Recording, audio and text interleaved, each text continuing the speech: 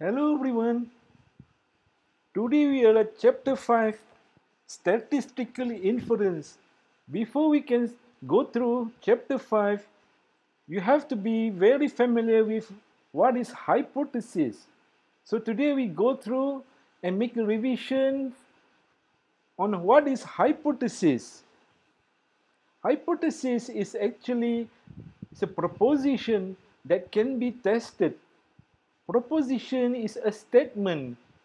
It is a statement that we argue that this is happening or this is a fact that we want to say that we argue against the fact. For example, I will say that if a person is sneezing greater than one meter, that will keep you safe from coronavirus. What does that mean? It means that I'm saying that I'm putting a statement saying that if someone is sneezing more than a meter, I will be safe from coronavirus. And that is my statement. And I can test my statement whether my statement is true or it is not true. So it is actually, we are making a proposition almost every day. So to formulate a hypothesis, hypothesis can be two type of hypothesis. The first one here is HO or it is called null hypothesis. And the other hypothesis, the second one is called alternate hypothesis or research hypothesis. And that is denoted by HA or H1. When we say HO or null hypothesis, we are saying that there is no relationship between variables or the relationship is not true or the statement is not true or the statement is against what is our expectation. Is this different from our expectations? H1 on the other hand is our statement, the findings that we expect we want this statement to be true. So in other words, we want to test H1 against HO. The decision rule is that HO, we reject HO if evidence support H1. But we cannot, if we do not reject HO, if evidence do not support H1. So it's either we reject HO or we don't reject HO. Symbol used in hypothesis.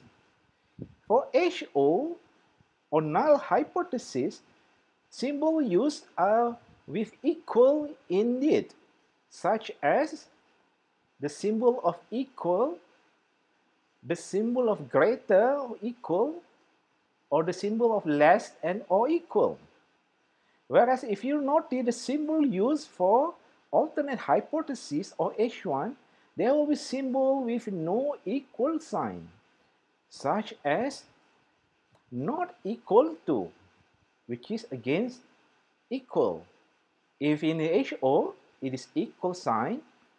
In H1, the symbol used is not equal to. And also the symbol of greater than, or the symbol of less than.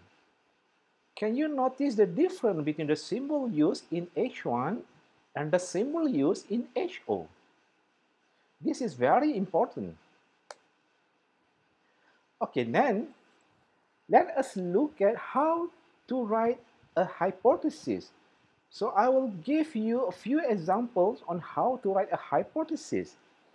Okay, for example here, according to Boyott, Boyott is saying that he is making a statement, Boyott is making a statement saying that on average, a person takes less than five minutes to berbuka puasa.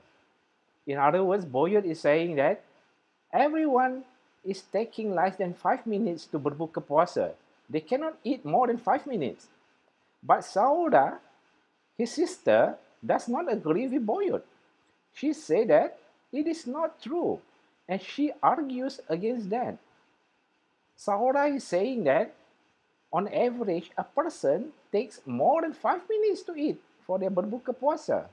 So we write down in the hypothesis, HO is the null hypothesis, berbuka puasa time is less than five minutes. H1 is the statement that we want to test. Berbuka puasa should be more than five minutes. H1 is the test hypothesis, meaning that we are testing Sauda argument against Boyott. Or we can also write down hypotheses such as HO or null hypothesis mu, which is the sample mean, is less or equal than 5 minutes. Remember, the 5 minutes here is the mean, the hypothesized mean. So in the sample, we are saying that on average, it is 5 minutes. So we, we are testing the mu of 5 minutes. So HO is mu, sample mean, is less or equal than 5 minutes. Whereas for H1, mu or sample means is more than 5 minutes. So there are two ways in writing hypothesis in this example. Okay, next example on how to write a hypothesis. Let's say we want to test whether students' average spending to buy new dress for Hari Raya is different from 300 ringgit. In other words, I am saying that, or we are all saying that, student will spend not 300 ringgit. They will spend less or they could spend more than 300 ringgit. So you want to say that our research hypothesis is the mean u or the sample mean is not equal 300 student might spend more or greater or they might spend less or smaller. Whereas the HO is saying that the mu is equal to 300 ringgit. Look at the word we want to test, meaning that this is a statement that we want to test. This statement should be the H1 or the alternate hypothesis or the research hypothesis. Okay, example number three on how to write a hypothesis. We want to test, or I want to test whether UITM students spend less than two hours per day to study during MCO or during movement control order. So this, the statement here should be our research hypothesis, which I am saying that, or we are saying that, mu is less than two hours and HO, the null hypothesis, mu is more or equal to 2 hours. So we want to reject this HO and we want to prove that H1 is true. In order to prove H1 is true, we have to reject the null hypothesis. Okay, those are few examples on how to write down hypothesis.